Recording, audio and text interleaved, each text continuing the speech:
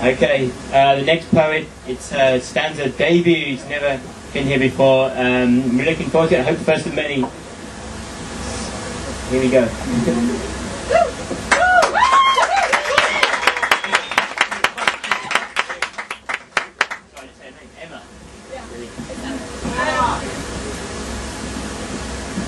Okay, um, I'm going to read two poems about witches.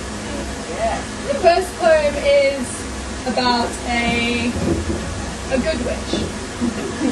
it's called Grandmother Crone. I look for you in my bleeding time. With your help, I will tear down those plans we made, he and I.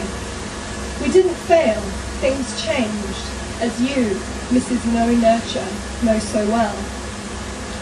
That black glass jar with bubbles trapped in its hard skin holds nails and bolts and screws and tiny fragments of dead fairies. With you, I will sort through them.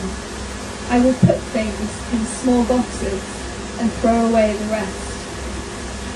Death Lady, you're with me in my bleeding. Will help me when the day comes that I forget to bleed. I'll throw away what I don't need. Let go. Prepare for spring.